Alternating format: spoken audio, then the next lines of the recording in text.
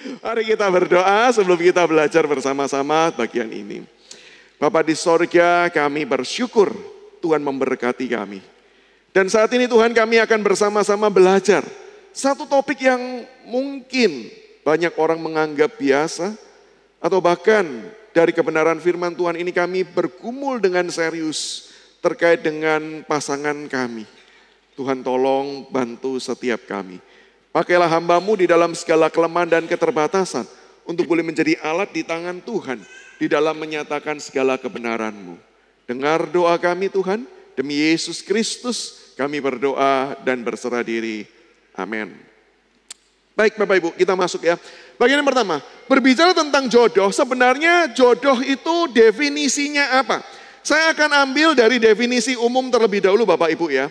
Yang pertama yaitu jodoh berbicara terkait dengan kecocokan di antara dua orang dalam konteks pernikahan. Itu jodoh. Dan saya harus berikan batasan secara langsung supaya nanti isunya tidak melebar di dalam konteks kekristenan yang kita percayai dengan dasar biblika, teologi, filsafat, praktek kita percaya pernikahan yang dimaksudkan itu adalah heteroseksual. Oke, jadi topik ini saya sengaja tidak akan bahas terkait dengan isu homoseksualitas, meskipun itu isu yang pasti jauh lebih ramai kalau dibicarakan. Kita langsung batasi, begitu saya katakan pernikahan yang dimaksudkan adalah heteroseksual. Pria dan wanita. Jadi jodoh itu banyak orang berpikir bahwa ini bicara tentang cocok atau tidak cocok. Benar atau tidak, ini pandangan populer. Nanti kita akan melihat di dalam Alkitab apakah memang Alkitab membicarakan terkait dengan kecocokan. Yang kedua adalah ketika orang tuh berbicara tentang jodoh, pandangan yang pertama ini pandangan yang cenderung sekuler. Sekuler dalam pengertian adalah mengekskludetkan Tuhan, tidak melibatkan Tuhan. Jadi jodoh cuma dipikirkan dari faktor saya dan dia. Cocok atau tidak. Selesai. Kalau cocok berarti jodoh. Kalau nggak cocok berarti tidak berjodoh. Ini pandangan populer. Tetapi pandangan ketika orang menggunakan kata jodoh, biasanya di dalam konteks Indonesia, maka itu biasanya melibatkan unsur Tuhan. Ini adalah aspek religi. Di mana artinya jodoh itu adalah keterlibatan Tuhan di dalam relasi pasangan. Jadi ada intervensi Tuhan di dalamnya.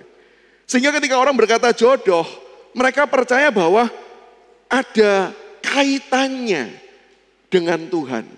Nah, ini bagian yang akan kita diskusikan lebih lanjut. Walaupun nanti saya juga akan tetap masuk di bagian yang pertama, bicara tentang kecocokan. Nah ketika membicarakan tentang keterlibatan Tuhan, pertanyaannya Tuhan itu terlibat sejauh apa sih? Apakah Tuhan itu betul-betul memilihkan si A dengan si B, atau Tuhan itu tidak memilihkan si A untuk si B, jadi si A bebas mau nyari B boleh, C boleh, D boleh, apa pun, atau seperti apa? Bagaimana Alkitab mengajar kita terkait dengan hal ini? Nah, untuk hal ini Bapak Ibu, saya tidak mau pertama-tama memberikan pandangan saya. Saya ingin sampaikan di dalam sejarah gereja itu ada berbagai macam pandangan. Oke, jadi pandangan-pandangan ini adalah pandangan-pandangan yang diterima oleh gereja-gereja. Dan setiap gereja-gereja itu bisa jadi berbeda satu dengan yang lain. Dalam hal ini saya juga bahkan tidak tahu pandangan gereja GKI Karangsaru seperti apa. Tapi begitu saya setor materi, terus gak ditelepon Pak, batal Pak ya selamanya ya, karena gak cocok. Berarti dugaan saya sejalan nih dengan saya gitu ya. Karena saya juga pernah diundang dengan tema yang mirip seperti ini, saya konfirmasi dulu. Ternyata saya dengan pandangan gerejanya tidak sejalan. Terus saya tanya, boleh loh kalau mau di cancel. Saya nggak merasa tersinggung loh. Karena dari bagian bagi saya hal ini bukan hal yang mempengaruhi keselamatan. Jadi kalau tidak mempengaruhi keselamatan, it's okay. Kamu dan saya boleh beda. Terus gereja bilang gini, tidak apa-apa deh Pak. Bapak tentang tetap sampaikan pandangan yang Bapak yakini tentu dengan dasar-dasar. Tapi jangan kemudian mengarahkan jemaat untuk langsung setuju kepada Bapak. Jadi akhiri dengan open saja Pak. Oke, kalau itu permintaannya saya setuju. Artinya saya tidak harus munafik, pura-pura mengikuti gereja, saya bisa menyatakan pandangan saya, tapi saya memberikan kesempatan untuk jemaat memilih mana yang kemudian mau dipercaya dan diikuti. Nah, ada tiga pandangan Bapak Ibu. Ada tiga pandangan. Saya sengaja taruh pandangan saya yang terakhir. Oke. Yang pertama Bapak Ibu, pandangan yang pertama adalah pandangan yang percaya bahwa jodoh itu ditetapkan Tuhan. Jadi Tuhan itu memang memilihkan sejak dari awal. Nah kalau ditanya sejak dari awalnya di mana, saya percaya bukan sebelum penciptaan, tetapi sesudah penciptaan. Jadi ibarat kata pandangan yang pertama ini akan berkata demikian. Ketika Tuhan menciptakan Samuel, maka Tuhan itu menetapkan kemudian di dalam kehidupan Samuel Nantinya kamu akan menikah dengan satu orang wanita yang namanya Lanpang. Dan itu memang nama istri saya. Oke. Nah, Tuhan menetapkan pada waktu dia menciptakan saya. Di dalam hal ini tetap pandangan ini percaya bahwa ada perbedaan penetapan Tuhan terkait dengan keselamatan dengan penetapan Tuhan terkait dengan pasangan. Kalau keselamatan ditetapkan sebelum Tuhan menciptakan apa pun. Sementara pasangan itu ditetapkan di dalam waktu penciptaan. Kenapa kok pandangan ini percaya bahwa Tuhan itu menetapkan termasuk pasangan? Jawaban yang pertama adalah karena dasar bahwa Allah itu berdaulat atas segala sesuatu. Alkitab berkali-kali memberitahu Allah itu berdaulat terhadap apa pun. Contoh, Allah berdaulat terhadap burung yang di udara. Kalau kita manusia melihat burung di udara, maka kita melihat burung itu terbangnya bebas. Betul ya? Tetapi di mata Tuhan, burung itu geser sedikit dua derajat ke arah kiri. Itu adalah bagian dalam penetapan Tuhan. Tuhan tidak pernah terkejut dengan satu manuver gerakan kecil apa pun. Karena Tuhan berdaulat atas segala sesuatu. Bahkan mungkin termasuk kita terbiasa, bahkan rambut ini jatuh. Itu juga Tuhan tahu. Jadi tidak mungkin ketika kita sisir rambut gitu ya, terus rambut rontok, kita kan tidak pernah ngitung itu. Nah pandangan ini percaya bahwa Tuhan bahkan tahu berapa lembar yang jatuh. Tuhan tahu. Karena dia berdaulat atas segala sesuatu. Ini pandangan yang pertama. Tuhan berdaulat dan tidak ada satu hal pun di dalam kehidupan manusia itu yang bisa lepas daripada kedaulatan Tuhan. Yang kedua, yang lebih spesifik ketika berbicara terkait dengan pernikahan, Allah itu inisiatornya. Kalau kita membaca kitab kejadian kita tahu Allah lah yang membuat lembaga pernikahan tersebut. Allah lah yang kemudian meminta supaya Adam itu kemudian bekerja dan kemudian melihat tidak baik manusia itu seorang diri. Sehingga sehingga di dalam hal ini Allah itu inisiator pernikahan pastilah kalau dia yang menciptakan pernikahan dan dia berdaulat atas segala sesuatu, maka siapa yang menikah itu di dalam kedaulatannya dia secara penuh dan secara mutlak. Dan yang ketiga adalah Tuhan itu menciptakan keluarga bukan kengangguran. Kenapa sih kok dibawa laki-laki dan pria bisa menikah? Allah kemudian cuma eh, kalau ditanya terus kemudian Allah cuma jawab gini, ya daripada sepilah dibuatlah supaya keluarga bisa lebih ramai. Bukan. Karena Tuhan punya makna teologis yang lebih dalam di dalam pernikahan. Kalau kita membaca surat Efesus pasal yang kelima, relasi suami dan istri itu menjadi cerminan dan percikan Allah mengajarkan bagaimana harusnya Tuhan dan jemaat itu berelasi. Bagaimana harusnya laki-laki yang intim dengan wanita di dalam pernikahan itu intim dalam pengertian total ya. Bukan cuma di dalam relasi seksual, tetapi bahkan termasuk di dalam seksual. Intim, artinya apa? Tidak ada yang tertutupi lagi antara pria dan antara wanita. Maka itu kenapa bisa terjadi momen lo tadi itu. Karena kalau masih ada yang tertutupi, pasti lo-nya nggak muncul. Ya pacaran buktinya. Kalau orang pergi pacaran ya, saya sering kali di kampus karena pelayanan di kampus, maka sering kali kan menghadapi uh, mahasiswa-mahasiswi yang pasti belum menikah. Nah biasanya ketika mereka berpacaran, salah satu nasihat saya, buka mata selebar-lebarnya. Oke, okay? waktu pacaran buka mata selebar-lebarnya, kalau sudah menikah, tutup satu mata. Tetap buka mata loh ya, jangan tutup mata total, tutup satu mata. Artinya apa? Ada hal-hal yang kita bisa katakan, ya wis lah, tapi ada prinsip-prinsip di mana kita tidak bisa berkata, ya wis lah. Harus direvaluasi, harus dikoreksi supaya pasangan bisa bertumbuh.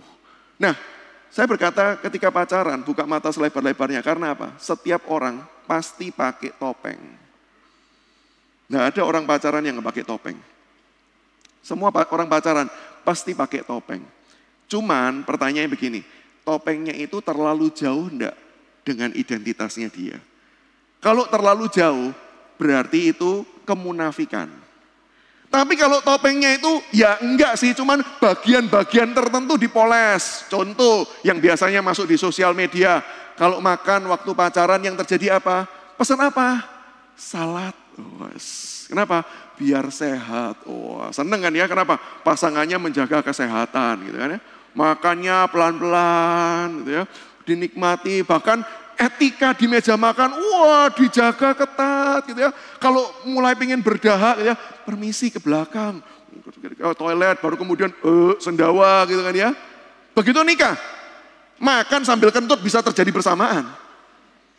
Yang sudah menikah pasti paham kan ya. Oh sebelum nikah mau kentut permisi gitu ya ke toilet, kentut dulu. Waktu sudah nikah, lewat di depan istrinya, tut, gitu. sorry, gitu doang kan ya. Karena apa? Tidak pakai lagi topeng. Nah kalau cuma sekedar polesan-polesan seperti itu, it's okay. Tapi jangan lupa, itu tetap pakai topeng. Jadi yang belum menikah sadar ya, kalau kamu dating, itu percayalah pasanganmu pakai topeng. Jadi nanti kalau di dalam pernikahan ada momen-momen tadi katakan, lu itu saya sangat meyakini benar. Nah, kembali kepada topik. Maka ketika pasangan suami dan istri itu menikah, Allah itu bukan cuma sekedar tidak ada maksud, tapi Allah menitipkan supaya di dalam relasi mereka manusia bisa belajar Allah itu pingin seintim apa dengan jemaat. Kalau suami dan istri tidak ada lagi batasan, suami dan istri tidak ada lagi hal yang membuat mereka terpisah, maka itulah juga yang terjadi yang Allah inginkan antara Kristus dan jemaatnya. Kita diharapkan terbuka apa adanya di hadapan Tuhan. Nah, maka di dalam bagian ini kita melihat relasi suami istri itu adalah gambaran Kristus dengan jemaat. Dan contohnya saya tidak akan gali, tidak akan eksposisi, ini kejadian 24, bagaimana Allah menetapkan. Yaitu apa?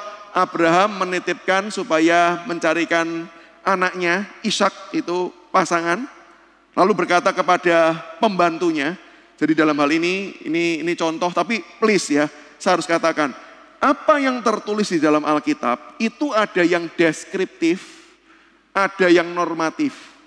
Kalau deskriptif itu cuma diceritain. Contoh poligami. Poligami ada nggak di dalam Alkitab? Ada.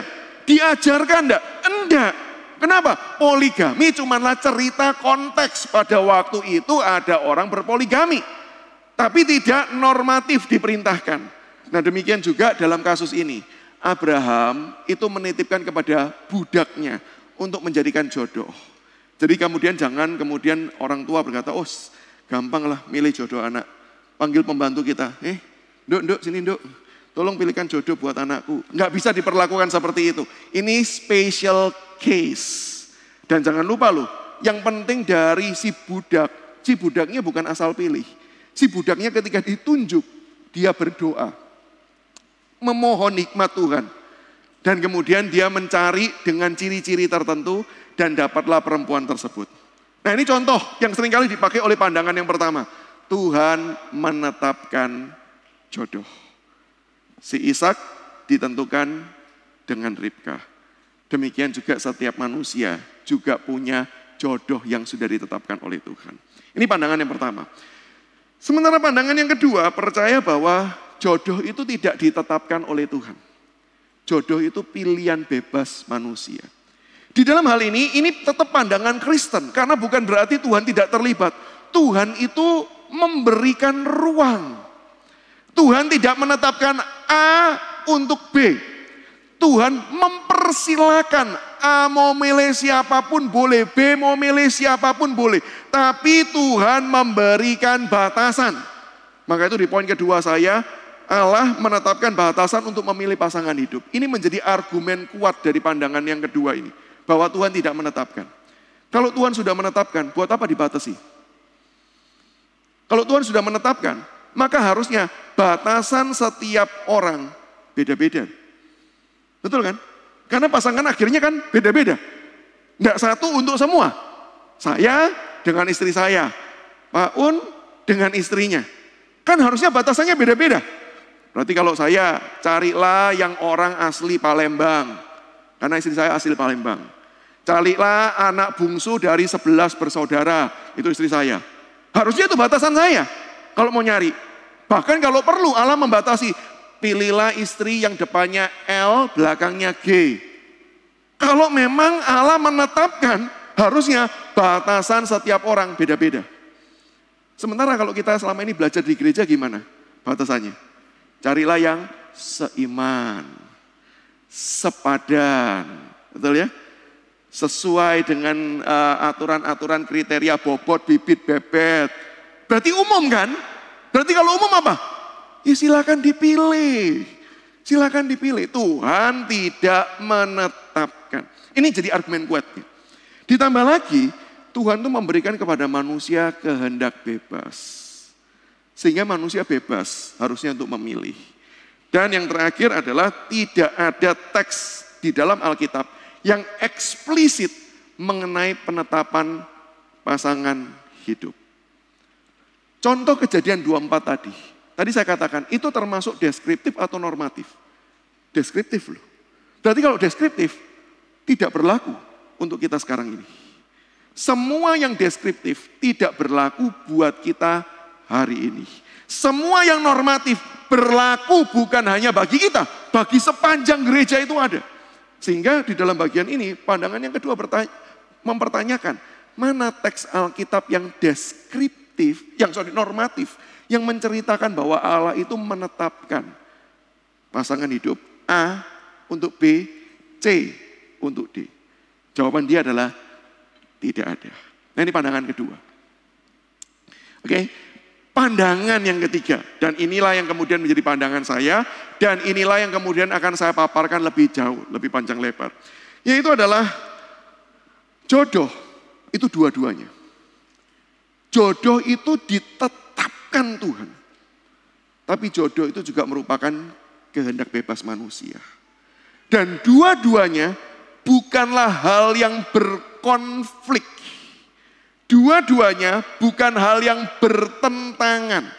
Dua-duanya bisa sejalan. Kenapa saya katakan demikian?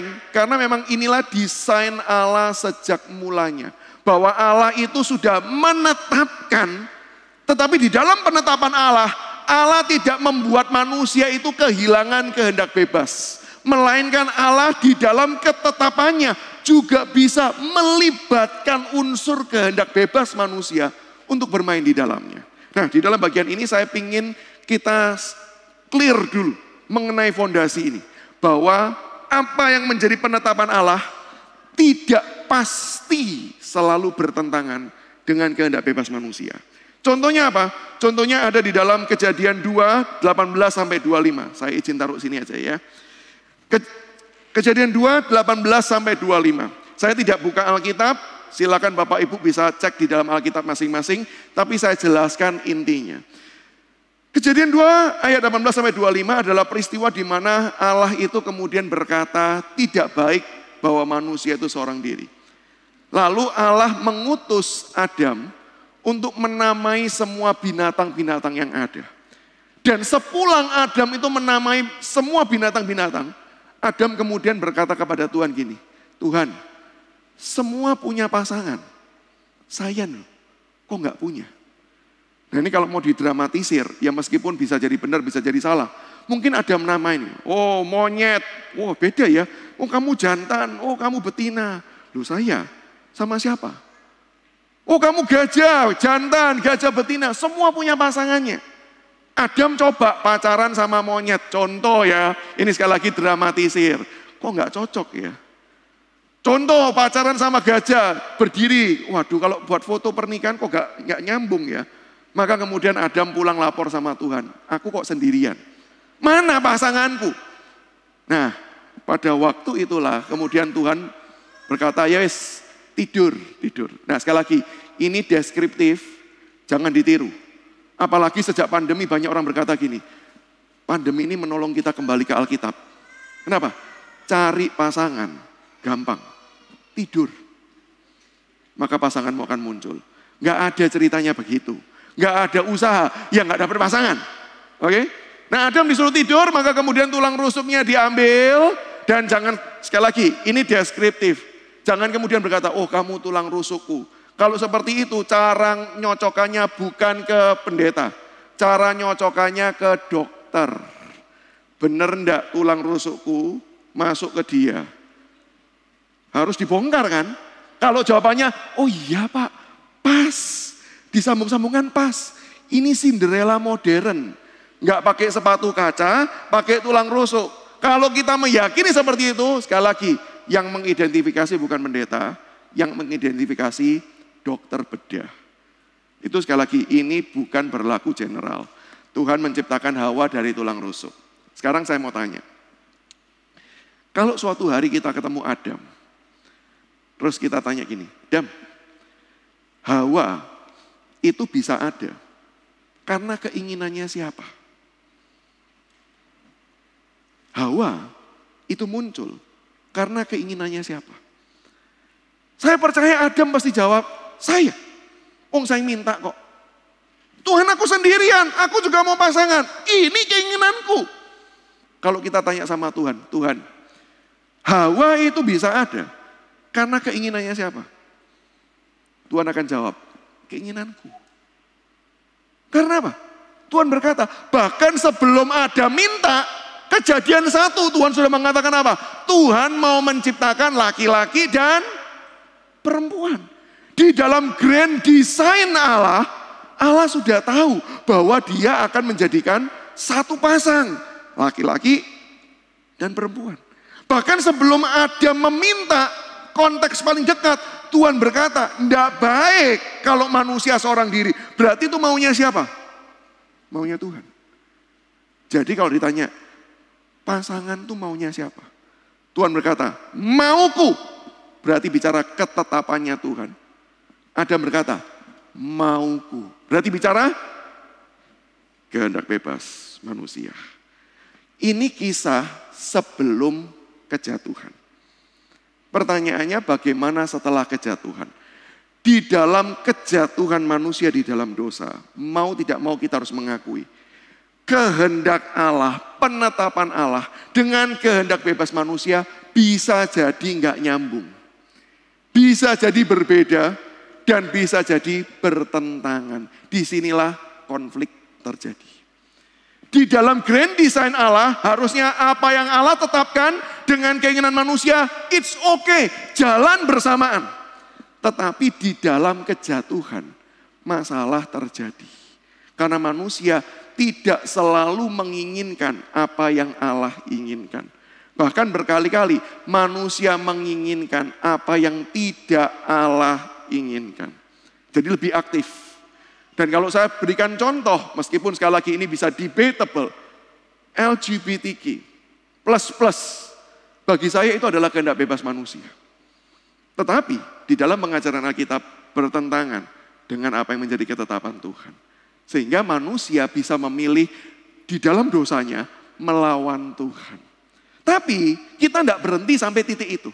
Karena kalau kita berhenti sampai titik itu, maka hari ini masalah kita tidak akan terselesaikan. Berarti semua jodoh kita, semua pasangan kita, itu lahir dari keberdosaan kita. Berarti semua salah tuh. Nah, di dalam hal ini kita tidak berhenti di sini. Ada cerita selanjutnya. Karena Kristus menebus, Kristus memulihkan, dan itulah yang menjadi titik awal balik di mana manusia bisa kembali menginginkan seperti yang Tuhan itu tetapkan. Bahkan ini ada bagian ayat yang eksplisit. Tadi kan bagian yang kedua bilang, mana ayat yang eksplisit? Saya kasih ayat yang eksplisit. Di dalam Matius 16, Tuhan Yesus pernah berkata demikian. Barang siapa mau mengikut aku, ia harus menyangkal diri, memikul salib, dan mengikut aku. Bapak Ibu perhatikan kata menyangkal diri. Apa sih definisi menyangkal diri? Menyangkal diri saya tidak kasih definisi yang salah-salah ya. Saya langsung kasih definisi yang benar. Menyangkal diri itu artinya begini loh. Saya punya kehendak. Saya tahu Tuhan punya kehendak. Dan setelah saya lihat, nggak nyambung, nggak cocok. Maka saya bersedia menanggalkan kehendak saya dan kemudian belajar untuk menjadikan kehendak Tuhan sebagai kehendak saya.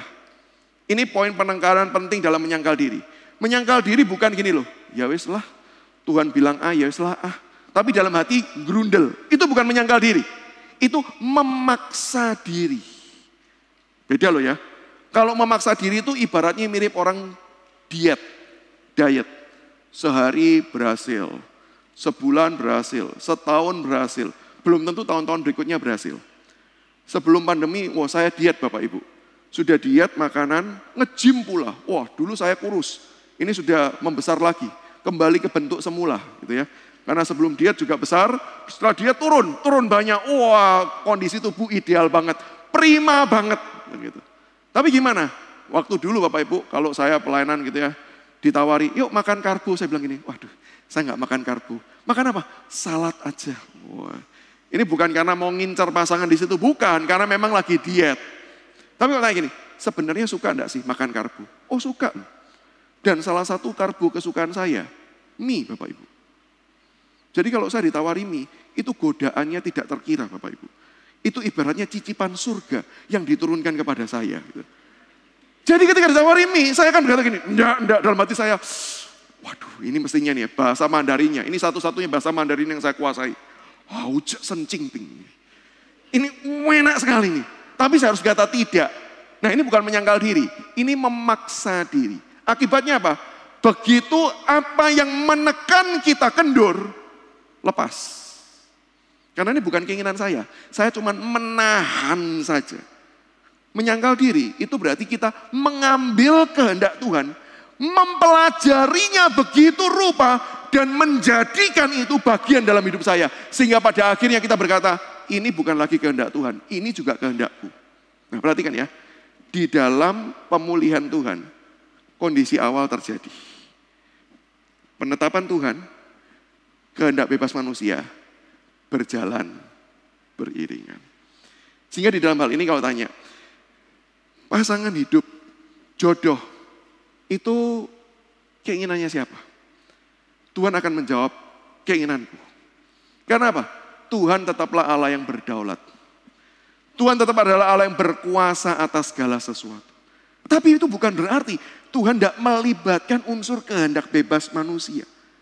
Tuhan mengizinkan, Tuhan memakai semua hal tersebut. Bahkan kalau to the point saya berkata gini, jujur pada waktu saya milih istri saya atau bapak ibu milih pasangan, tahu secara pasti tidak 100% bahwa itu jodoh dari Tuhan.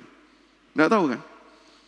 Tapi kan nanti di dalam prosesnya kita melihat, iya ya, benar ya, iya ya. Semakin ke depan, semakin ke depan kita bisa melihat dengan lebih pasti bahwa ternyata benar, saya nggak salah pilih. Karena apa? Tuhan menetapkan. Tapi Tuhan mengizinkan kita dengan kehendak bebas yang diarahkan mencari kehendak Tuhan. Tuhan bisa pimpin kita memenuhi ketetapannya. Oke. Jadi kita clear dulu dengan dasar ini. Jodoh, ketetapan Tuhan tapi juga adalah pilihan bebas manusia. Nah, sekarang kita masuk di dalam beberapa pertanyaan-pertanyaan yang mungkin akan ditanyakan. Jadi pertanyaan-pertanyaan ini saya munculkan dulu dengan berharap supaya nanti mengurangi sesi Q&A, tanya jawab. Gitu ya. Yang pertama, apakah kita bisa mengetahui bahwa pasangan pilihan kita adalah orang yang ditetapkan Tuhan? Bagaimana kita mengetahui bahwa pilihan kita sama dengan penetapan Tuhan?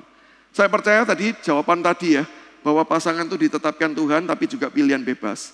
Muncul pertanyaan ini, ini pertanyaan yang wajar. Dan ini pertanyaan yang logis untuk ditanyakan. Tahu dari mana? Ada enggak caranya saya ngecek bahwa oh kehendak bebas saya sudah sejalan nih dengan ketetapan Tuhan. Ada enggak caranya untuk mengetahui hal tersebut? Jawabannya adalah begini. Kalau kita ditanya dengan pasti, 100% certainty, tidak ada titik keraguan apa pun, maka jawabannya nggak ada. Kita tidak punya bukti langsung untuk kita mengetahui pasangan kita ini sejalan sama dengan ketetapannya Tuhan atau tidak. Kita tidak punya bukti langsung. Nah, dalam bagian ini supaya tidak membingungkan, izinkan saya memberikan penjelasan begini. Bapak Ibu, sesuatu hal yang kita bisa pastikan dengan pasti, itu membutuhkan satu indikator yang disebut bukti langsung. Contoh, Bapak Ibu tahu nama saya dari mana? tadi disebutkan oleh moderator. Itu bukti tidak langsung loh. Bisa jadi dia salah sebut.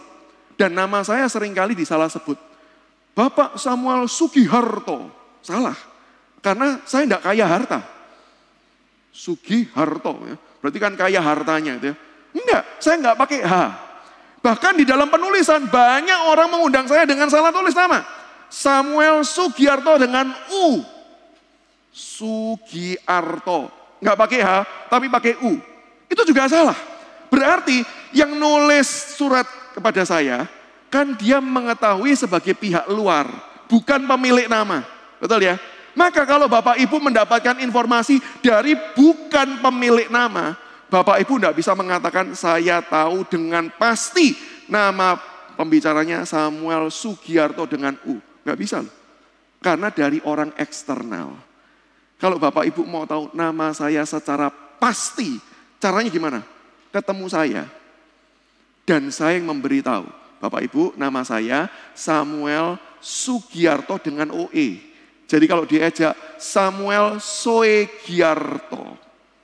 Itu nama saya. Nah sekarang ketika Bapak Ibu sudah dengar nama saya Samuel Soegiarto. Bapak Ibu punya pengetahuan yang sifatnya pasti. Karena datangnya dari sumber informasi. Oke, okay? contoh. Bapak Ibu tahu bahwa Presiden Jokowi sekarang ada di sebut aja. Ini ngawur ya, saya nggak tahu agenda beliau di mana. Bapak Ibu tahu Pak Jokowi itu lagi ada di Surabaya. Dari mana pertanyaannya? Ini perlu ditanya, dari mana informasinya? Jawabannya adalah, oh dari Instagram kepresidenan.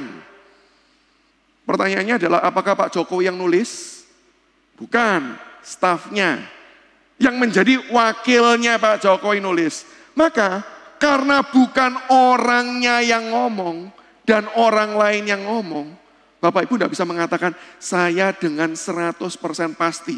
Detik ini jam 9.22 tanggal 8 Oktober 2022 Pak Jokowi ada di Surabaya. Belum tentu loh.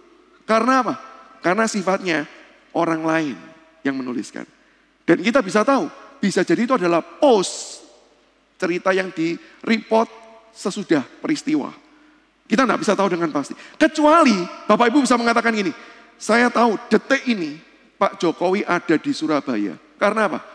Bapak Ibu ngelihat story-nya Pak Jokowi Pak Jokowi lagi story. Halo warga Indonesia, saya lagi ada di Surabaya, saya jalan-jalan di kampus swasta Kristen Universitas Kristen Petra Surabaya.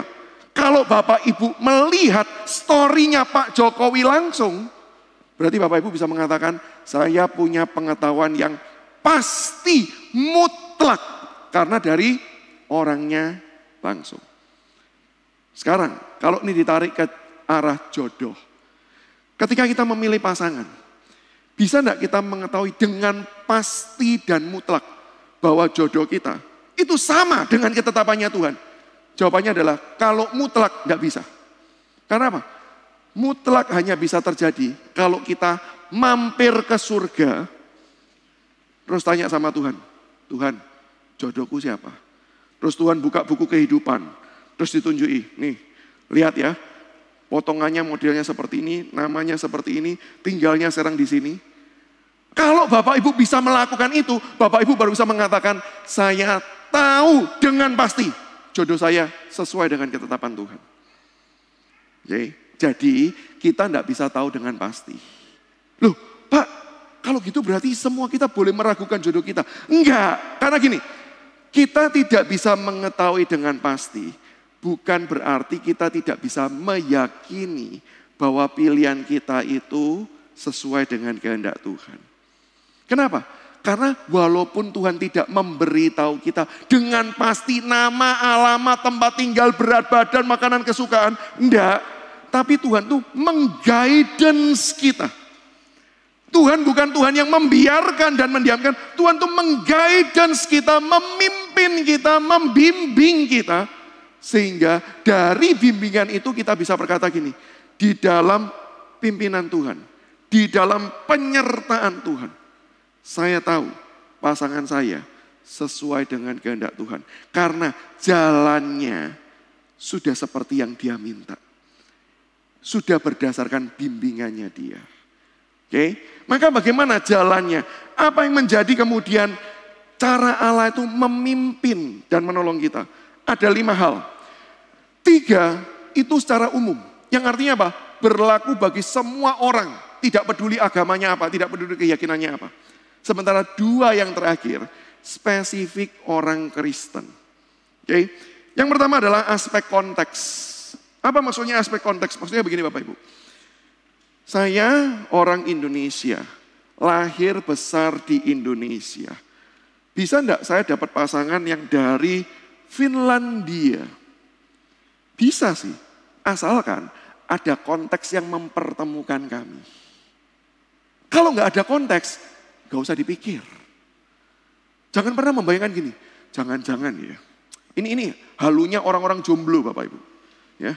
Kenapa? Saya bedakan antara single dengan jomblo. Saya meyakini yang di sini single, yang belum punya pasangan ya. Karena single itu berarti sebenarnya laku, cuman belum menemukan. Kalau jomblo sudah obral, tetap gak laku-laku gitu kan ya. Nah halunya orang jomblo itu kadang-kadang begini. Jangan-jangan pasangan saya itu lagi tinggal di negara yang lain. Belum ketemu sekarang. Bagi saya, kalau konteksnya nggak ada yang mempersatukan, nggak usah dipikir. Paham ini? Karena pasangan itu butuh konteks. Nggak mungkin Bapak Ibu tiba-tiba merasa gini, Tuhan menggerakkan saya. Ke mana? Ke, ke Arab ini. Kenapa? Karena di situlah jodoh saya. Itu nggak ada ceritanya model seperti itu Bapak Ibu. Itu bukan caranya Tuhan. Kalau itu kita pilih, itu artinya kehendak bebas kita. Paham ya? Itu ibaratnya kalau baca Alkitab suka ngomong begini nih. Saya mau tahu pimpinan Tuhan. Dari mana? Dari Alkitab. Wah, kelihatannya benar. Tapi gimana cara tahu pimpinan Tuhan? Tuhan, saya tutup mata Tuhan. Saya pasrahkan tangan saya ke dalam tanganmu. Ya Allah Roh Kudus tuntunlah tangan saya. Begitu saya tunjuk di ayat mana, itu merupakan kehendak Tuhan untuk saya melakukannya.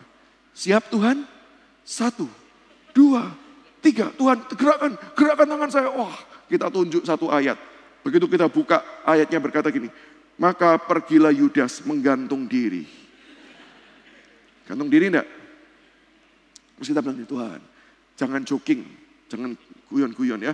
Beneran Tuhan, kita buka bagian lain. Tuhan, tolong gerakkan tangan saya, gerakkan tangan saya, gerakkan. Maka ketika kita buka mata, ayatnya berkata demikian. Kata Yesus kepadanya, segeralah lakukan. Kan gak masuk akal, paham ya? Jadi kalau tidak ada konteksnya, tidak usah dipikirkan. Karena pasti yang Tuhan tetapkan itu di dalam konteks kita. Nah ini bicara ketetapan Tuhan. Kalau Tuhan izinkan kita lahir di Indonesia, tapi kemudian kita itu punya kesempatan pergi ke luar negeri, tinggal di luar negeri. Mungkin enggak kita dapat pasangan dari luar negeri? Mungkin. Bisa enggak ketetapan Tuhan bagian dari hal itu? Bisa jadi. Lah kalau kita orang Indonesia, selama-lamanya tinggal di Indonesia, kita berharap kita dapat jodoh dari Korea yang tidak pernah pergi ke Indonesia. Itu halu. Ingat, ini bagian paling awal. Tuhan berbicara melalui konteks. Yang kedua adalah bicara tentang kesepadanan.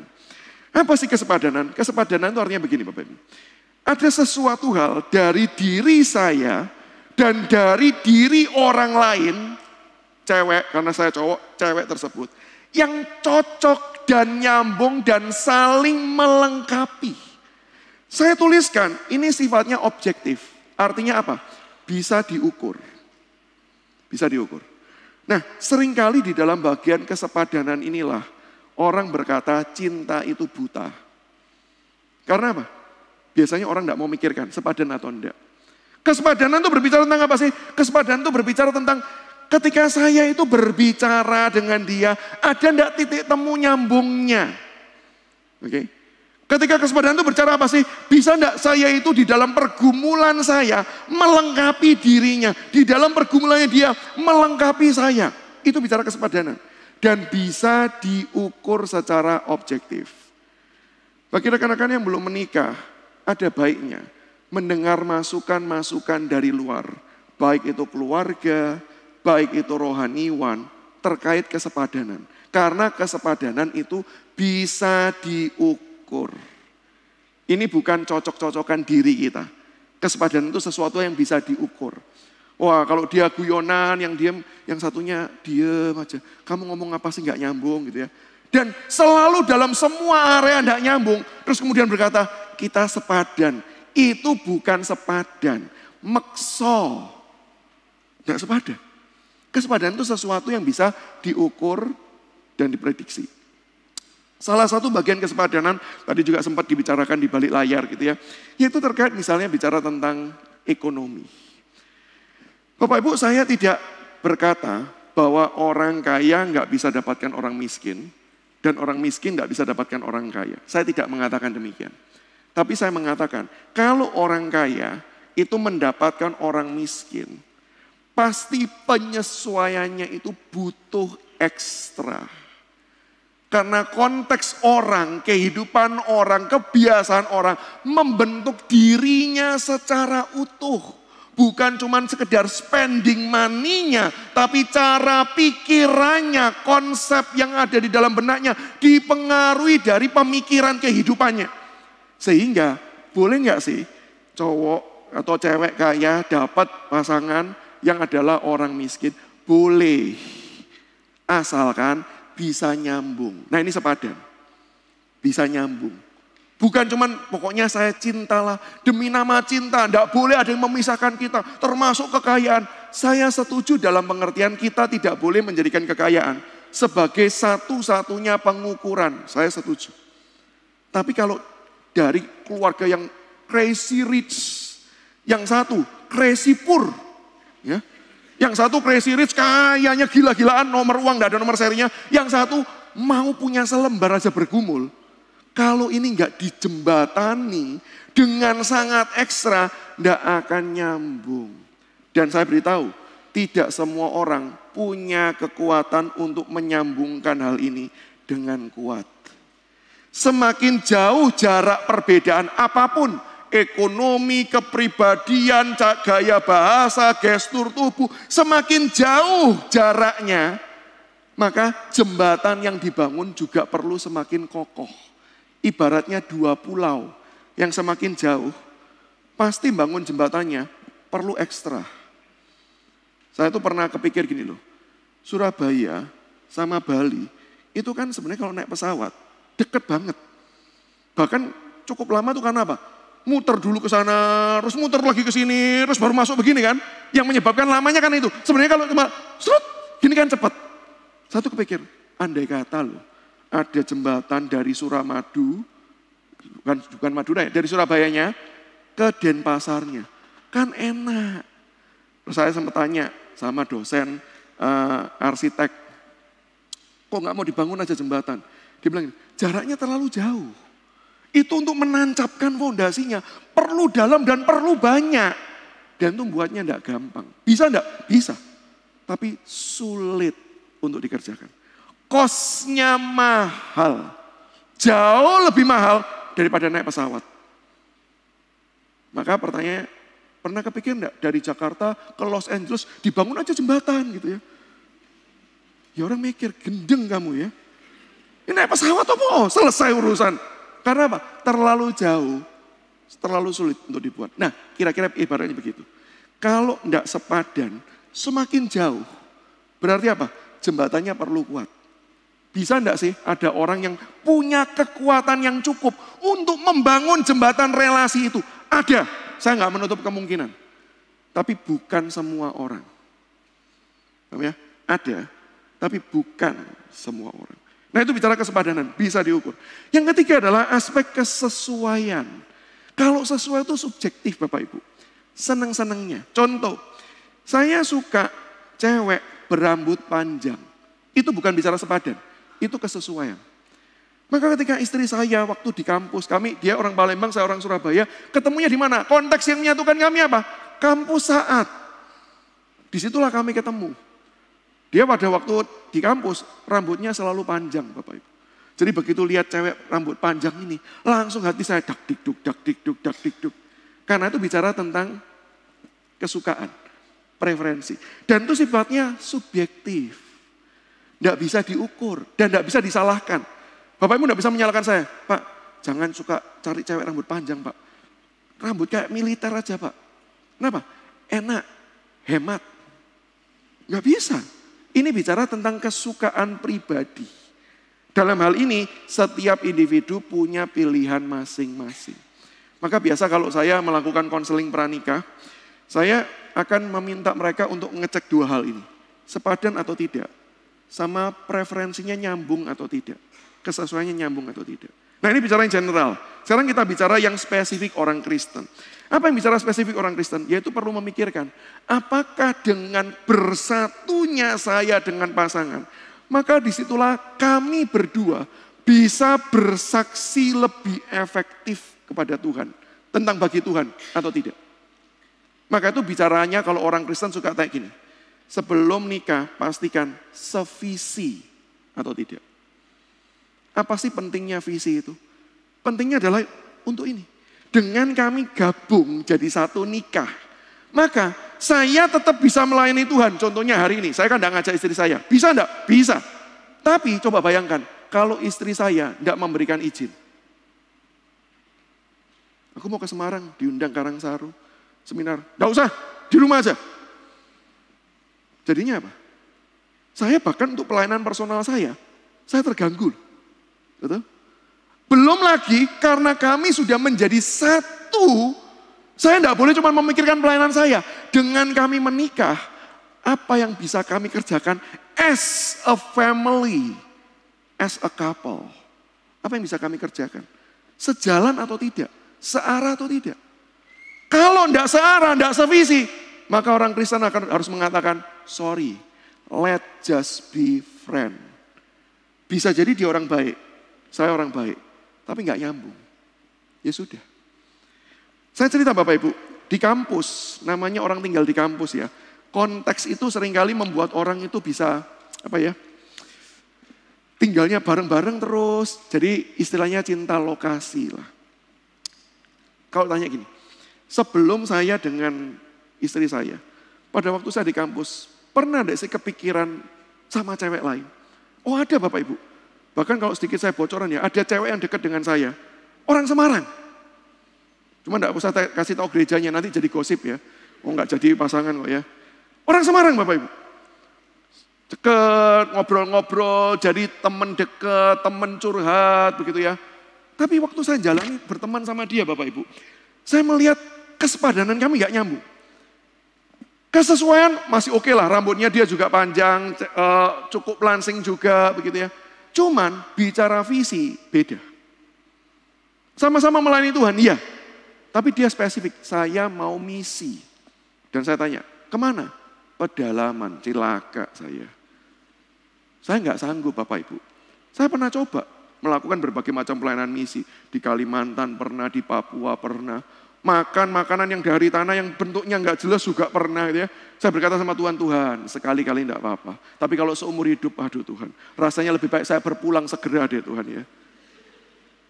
Karena saya percaya dengan karakteristik saya, Tuhan juga panggil ke tempat yang spesifik, tempat yang khusus. Jadi begitu tahu dia misi, oh sorry, let just be friend. Padahal nyambung, ngobrol enak, guyonan pas. Tapi karena enggak sevisi, sorry ini keputusannya. Kita berteman saja. Nah ini prinsip pertama khusus orang Kristen. Bicara kesaksian. Dan ini objektif bisa diukur. Yang kedua adalah aspek pertumbuhan. Dan ini subjektif. Artinya begini. Bisakah Samuel sebagai seorang Samuel menolong istri Samuel yang namanya Lanfang itu untuk bertumbuh terus-menerus semakin serupa Kristus di dalam kehidupan kami berdua sebagai personal suami istri. Pertumbuhan itu bisa macam-macam Bapak Ibu. Dan ini yang saya perlu garis bawahi. Dan yang patut, patut kita sangat-sangat apa ya, harusnya menghantam kita. Banyak orang Kristen bertumbuh personal, bukan bertumbuh komunal. Bahkan termasuk di gereja. Saya termasuk salah satunya. Saya orang Kristen, bertumbuh, bertumbuh, personal. Apakah persekutuan di antara gereja mempertumbuhkan saya? Enggak. Saya bertumbuh melalui apa? Bacaan saya. Bertumbuh melalui apa? Dengar khotbah. Personal dengar khotbah itu. Walaupun dilakukan bersama-sama. Begini kan dengar sama-sama ya. Tapi kan setiap orang terimanya sendiri-sendiri. Betul ya? Khotbah kan kira-kira seperti itu. Saya bertumbuh, tidak bertumbuh, tapi sendiri. Ada enggak aspek komunal yang mempertumbuhkan saya? Minim. Nah, di dalam hal ini, ini yang perlu dipikirkan secara serius. Sebagai komunitas gereja dan keluarga itu adalah gereja paling kecil. Harusnya saya melengkapi dia dengan berbagai macam hal yang bisa saya kerjakan. Supaya dia bertumbuh semakin serupa Kristus di dalam kehidupannya. Sehingga relasi kami menjadi relasi yang semakin intim dan semakin dekat. Nah ini adalah aspek subjektif yang tidak bisa diukur secara objektif. Dan ini sifatnya khusus buat orang Kristen. Nah kalau kita yang Kristen, maka kelima-limanya harus kita pertimbangkan. Harus kita gumulkan. Ketika kita menggumulkan kelima hal ini, itu sebenarnya adalah cara Tuhan menuntun kita kepada orang tertentu yang dia tetapkan. Tapi pada waktu Tuhan tetapkan, kita nggak merasa dipaksa. Karena apa? kita diberikan kehendak bebas. Di mana Tuhan pimpin kita dan arahkan kita. Sampai pada akhirnya kita pilih, saya mau ini. Begitu pilih itu, Tuhan berkata, itu pun sebenarnya juga keinginan saya. Cuman itu kalimat yang tidak keluar, tidak keluar, tidak eksplisit dikeluarkan. Tapi Tuhan pimpin dengan kehendak bebasnya, itu bisa nyambung. Oke, ini bagian yang pertama, pertanyaan yang pertama. Berikutnya, apa pentingnya sih mempercayai bahwa jodoh adalah penetapan Allah? Nah pertanyaan ini sangat wajar ditanyakan ketika orang berpikir begini. Kalau kita tuh tidak tahu yang mutlak, tidak tahu yang pasti. Apa pentingnya kita tahu bahwa jodoh ini ditetapkan Tuhan dan bukan sekedar kehendak bebas manusia? Ada dua alasan Bapak Ibu. Yang pertama adalah ini. Unsur pergumulan rohani. Maksudnya begini. Bapak Ibu, Sebenarnya di dalam kehidupan kita ada banyak hal kita itu jarang mendapatkan satu momen, satu titik di mana kita itu bisa berkata, aku seneng di sini dan ini betul-betul yang pasti aku inginkan. Kalaupun ada, momen itu biasanya sebentar lewat dan setelah itu tidak ada lagi. Terus kita cari lagi. Bisa paham maksud saya? Ada banyak dalam kehidupan kita, kita tuh struggling di dalam pergumulan. Dan belum tentu hasil akhirnya seperti yang kita inginkan. Pertanyaannya kenapa begitu? Jawabannya begini Bapak Ibu. Bagi Tuhan, yang penting itu proses. Bukan sekedar hasil. Kalau kita mementingkan hasil, maka percayalah, kenikmatannya itu sejenak dan sangat terbatas. Orang yang suka uang, senang enggak orang dengan uang? Saya percaya kalau kita semua ditanya, harusnya jawaban jujurnya adalah senang. Oke, kalau ada yang berkata, saya enggak suka uang pak, besok saya izin ganti tema pak, jangan berdusta. Ya. Karena saya percaya itu pasti bohong. Orang suka ada dengan uang? Suka. Tapi kalau orang itu betul-betul cinta akan uang, betul-betul hatinya diserahkan kepada uang, hidupnya akan selalu penuh dengan kecewaan. Kenapa? Kalaupun dia dapat uang, kenikmatannya itu sesaat. Sekarang saya kasih nih, setiap orang, setiap peserta hari ini seminar ya, nah, berbahagialah yang seminar hari ini. Kenapa? Bayangkan saja ya, jangan minta realisasinya ya, bayangkan. Semua yang ikut seminar ini pulang saya kasih angpau, satu juta dolar. Wah ya. Seneng gak? Waduh, kita pulang pasti akan bilang sama teman kita, eman kamu nggak ikut. Kenapa? Bukan seminarnya, angpaunya sih kan ya. Seneng dah terima? Oh seneng. Cuman saya tanya, berapa lama senangnya bertahan? Waktu terima, itu masih seneng. Waktu pulang, ngelihat masih seneng loh. Tapi lama-lama, biasa. Kemarin di uh, TikTok atau di Instagram saya lihat ya, ada orang bikin sebuah apa namanya tuh uh, cerita dan itu mewakili realita. Baru beli MacBook baru, wah, baru beli gimana caranya? Pakainya hati-hati, dilap, dibukanya pelan-pelan. Gitu. Setelah satu bulan, red, makan di atasnya kotor dibiarin. Karena apa? Kesenangannya sudah hilang. Kalau kita orientasi pada hasil, percayalah hidup kita itu senangnya sedikit, susahnya banyak. Karena untuk mendapatkan titik itu prosesnya panjang. Harusnya target kita bukan titik. Target kita tuh proses. Maka itu Tuhan berkata, aku menyertai kamu senantiasa. Itu menjadi sebuah kalimat yang luar biasa kalau kita mengejar proses. Artinya apa? Di dalam setiap langkah kita, God is with us. Dan itu keren banget. Di dalam perjalanan itu Tuhan betul-betul menyertai kita. Sehingga ketika kita mencapai titik yang kita inginkan, kita tuh bisa merasa anugerah Tuhan yang begitu besar. Dan walaupun kesenangannya sementara. Karena di titik itu pun Tuhan ada. Kesenangannya bertahan. Kesenangannya kekal. Nah hal yang sama terjadi. Di dalam kita proses mencari pasangan hidup. Kenapa sih Tuhan kok tidak langsung kasih tahu gini?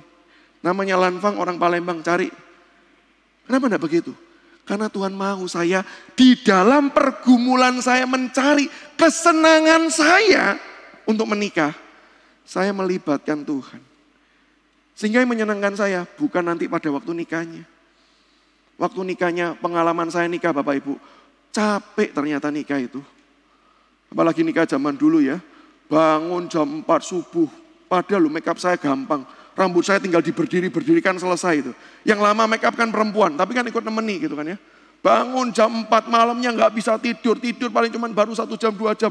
Bangun sepanjang hari acara, ikut kebaktian prosesi, mari gitu kemudian ada uh, prosesi makan miswa lah, apa ketemu keluarga lah, dikasih emas, nah itu menyenangkan sih ya, dikasih emasnya ya. Dikasih emas, dikasih angpo, oh menyenangkan. Tapi sampai malam resepsi gitu ya, zaman zaman saya dulu itu mungkin pengalaman gagal ya. Pengantin tuh makan belakangan. Dan tuh kelaparan Bapak Ibu. Jadi yang lain makan itu ya. Saya sama istri pernah tanya gini. Membayangkan dia malam pertama.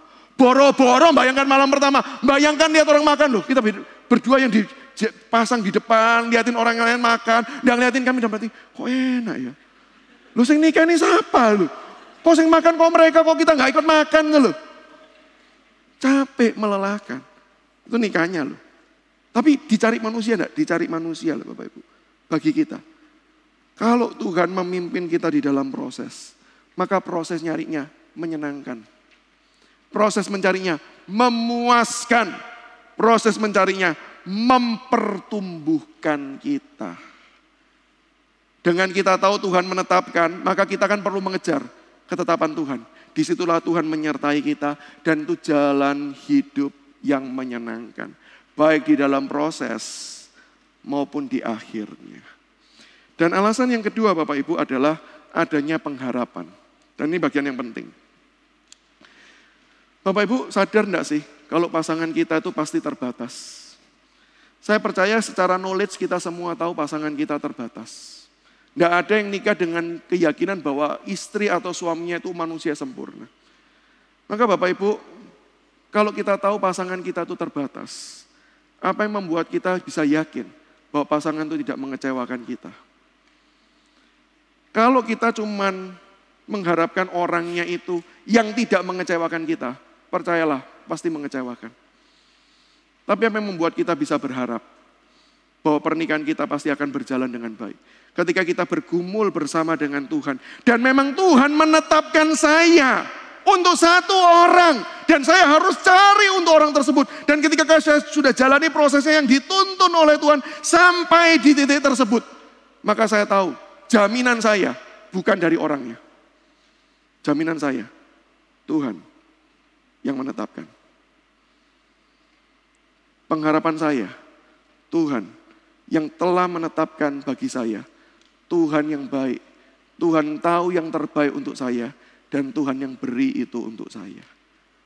Beri kok, terbaik kok, tapi kok masih banyak lo, lo, lo. Tadi diceritakan tuh ya, masih banyak lo-nya. Katanya terbaik, betul. Lo-nya kan gara-gara dia. Keterbatasan manusia. Tapi kalau Tuhan yang menetapkan, maka satu, Tuhan yang mempertumbuhkan dia terus-menerus juga. Sehingga Tuhan akan memproses dia juga. Tapi yang kedua, jangan lupa, pernikahan itu dua sisi. Bukan cuma dia doang. Melalui keterbatasannya, Tuhan memproses saya. Untuk saya juga terus bertumbuh. Terus bertumbuh. Dan terus bertumbuh. Sebagaimana yang Tuhan inginkan.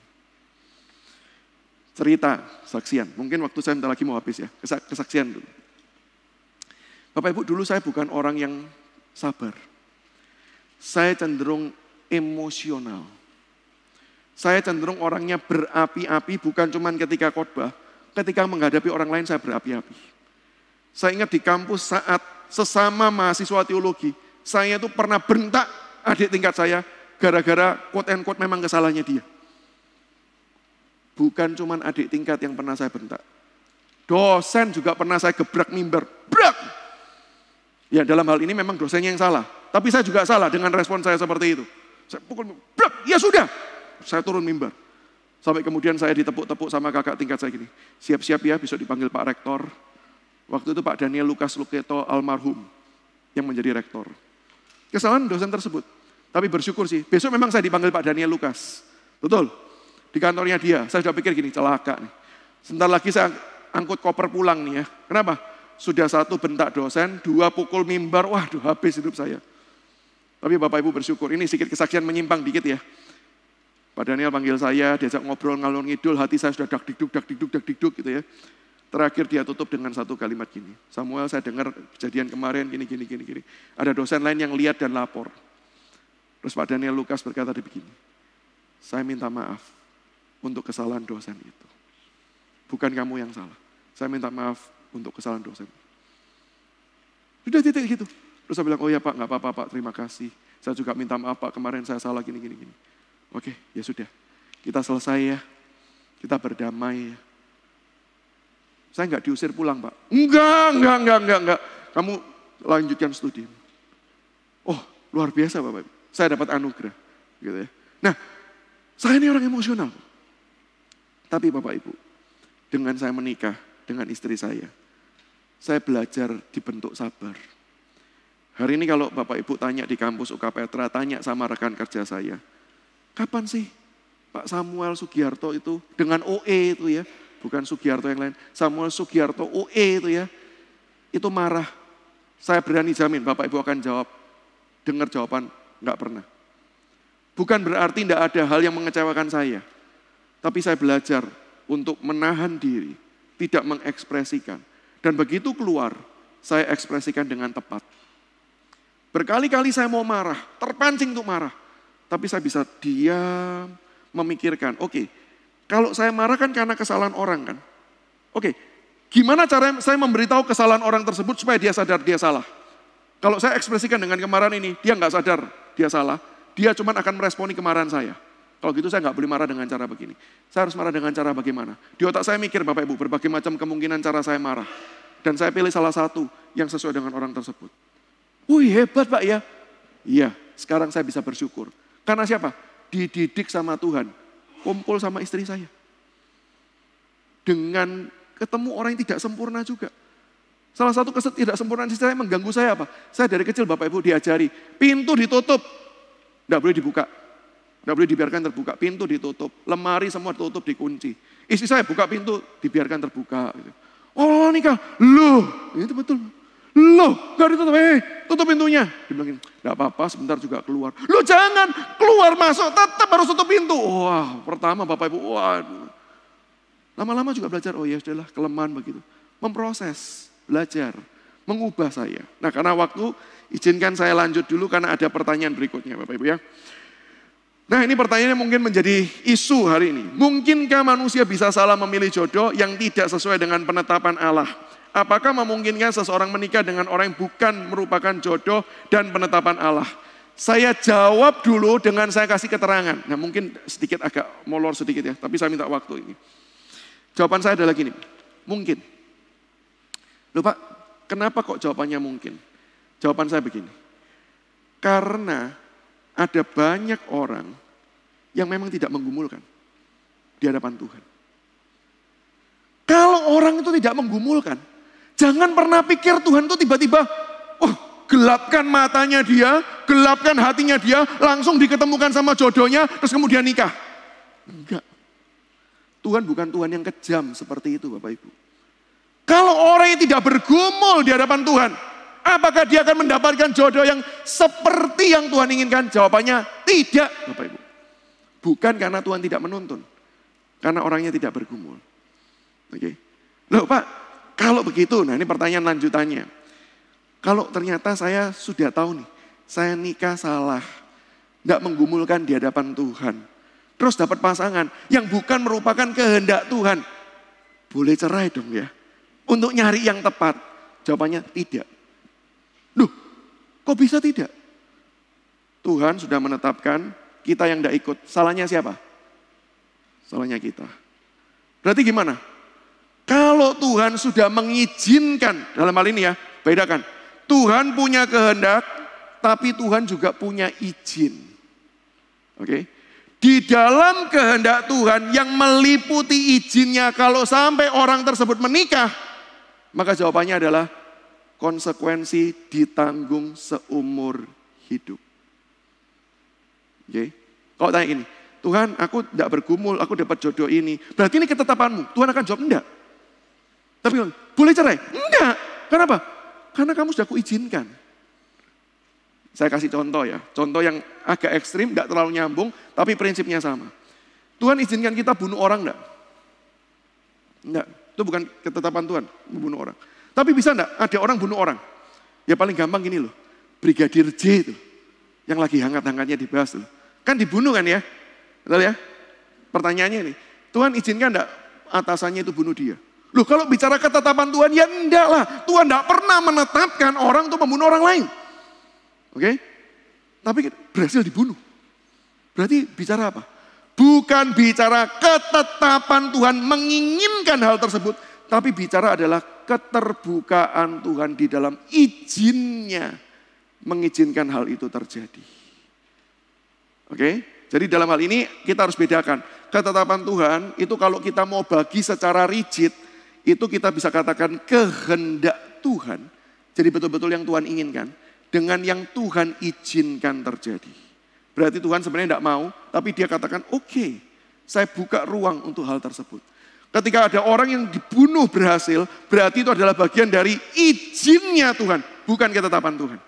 Nah, nikah juga begitu. Tidak bergumul, terus nikah. Jebret, terus sadar belakangan, lu celaka, keliru. Terus gimana? Ya ini sudah diizinkan. Boleh cerai? Kenapa nggak boleh cerai? Karena sudah di dalam konsekuensi yang perlu ditanggung. Nah, cuman izinkan saya tidak menjelaskan perceraian sekarang, karena ada topiknya nanti di sesi kedua. Saya lanjut dulu ya. Kalau orang pada akhirnya berkata, ya sudah saya mau cerai, berarti dia melakukan dua kegagalan. Yang pertama, salah bergumul. Dan yang kedua, mengambil komitmen masuk dalam pernikahannya keliru, sudah tidak bergumul keliru, tetap dinikahi keliru dua, cerai, tambah lagi keliru yang ketiga. Cuman yang cerai kita bahas yang berikutnya. Nah, tapi yang berikutnya saya harus katakan begini. Namun, percayalah begini loh Bapak Ibu. Kalau kita tuh sungguh-sungguh bergumul, maka kok saya percaya Tuhan itu adalah Tuhan yang baik. Jangan pernah bayangkan, ini, ini, ini, ini salah satu kesalahan banyak orang Kristen melihat Tuhan. Banyak orang berkisah ketika melihat Tuhan itu begini, Tuhan aku mau tahu kehendakmu Tuhan. Terus Tuhan jawab dari surga gini, cius. Gitu ya. Sungguhan mau serius gitu ya. Bener Tuhan aku mau kehendakmu. Beneran atau uh, serius sungguhan atau serius cuman guyonan. Beneran Tuhan, ah masa sih itu bukan Tuhan kita, itu teman kita. Okay? Teman kita suka begitu, Tuhan tidak begitu. Kenapa? Tuhan melihat hati. Kalau hati kita memang tulus mencari kehendaknya. Dia itu adalah Allah yang generous. Beranugerah dengan limpah. Akan membimbing, akan menolong setiap kita. Saya kasih komparasi Bapak Ibu ya. Bahkan kalau ada orang di suku pedalaman yang tidak pernah dengar berita Injil, bisakah dia diselamatkan? Jawabannya tetap bisa. Kenapa? Karena Allah itu generous, penuh dengan kasih karunia. Sehingga kalau dia nggak bisa dengar Injil, dia nggak bisa keluar gimana? Tuhan yang datang, itu Tuhan kita. Tuhan yang menyatakan kasih karunia-Nya. Sehingga jangan pernah punya konsep, Tuhan itu suka nutup-nutupi kehendaknya. Yang sering kali terjadi, kita yang tidak serius nyari kehendak Tuhan. Dan biasanya ketidakseriusan kita mencari kehendak Tuhan, karena kita sudah punya maksud kemauan kita sendiri. Nah, saya jadikan ini sebagai ilustrasi terakhir ya. Saya kasih cerita begini Bapak Ibu. Ada satu orang doa sama Tuhan. Tuhan, saya mau tahu kehendak Tuhan. Nyatakan, saya mau melakukan pelayanan seperti yang Tuhan inginkan. Terus ibarat kata Tuhan kasih dia kunci mobil mewah. Tuhan jadikan dia orang kaya. Terus, wah oh, terima kasih Tuhan orang tersebut memakai kekayaannya untuk melayani Tuhan. Orang kedua doa, Tuhan aku mau melayani Tuhan, apa pun yang kau percayakan Tuhan, dikasih perusahaan. Wah dia mengembangkan perusahaan untuk melayani Tuhan. Orang ketiga lihat temannya, wah doa sama Tuhan, dikasih mobil, satu doa sama Tuhan, dikasih perusahaan, oh keren ya. Terus dia doa sama Tuhan, Tuhan aku mau tahu Tuhan kehendakmu Tuhan, nyatakan kehendakmu Tuhan. Terus Tuhan kasih dia lap, kasih lap untuk dia kerja, kerja kasar. Terus dia berkata, dia terima lapnya. Oh Tuhan, tolong Tuhan aku nyata, aku mau tahu kehendakmu Tuhan. Nyatakan kehendakmu Tuhan. Tuhan bilang, sudah. Kasih lap dulu. Sudah. Oh Tuhan, sungguh Tuhan aku mau melayani engkau dengan giat Tuhan. Aku mau tahu kehendakmu Tuhan. Tuhan sudah itu loh, di tanganmu itu loh. Dari cerita ini paham Bapak Ibu? Kenapa orang itu terus doa minta kehendak Tuhan? Bukan dia nggak tahu loh kehendak Tuhan apa. Cuman kehendaknya nggak sesuai dengan kehendak dirinya. Karena membayangkan dapat mobil, dapat perusahaan, oh jangan-jangan aku dapat tata. Dia membayangkan itu kan. Dia mengejar itu kan. Sehingga dia doa, Tuhan aku mau melayani engkau dengan sepenuh hati. Tuhan sudah nyatakan. Tuhan bukan nak nyatakan. Seringkali apa yang Tuhan nyatakan beda dengan yang kita inginkan. Sehingga kita tutup mata atas kehendak Tuhan. Saya sangat percaya Bapak Ibu. Di dalam Tuhan yang bermurah hati itu. Kita pasti tahu apa yang akan menjadi kehendaknya. Oke, saya stop dulu sampai di sini. Kita akan lanjut di dalam sesi yang kedua setelah jeda berikut ini saya serahkan kembali kepada Bapak Moderator.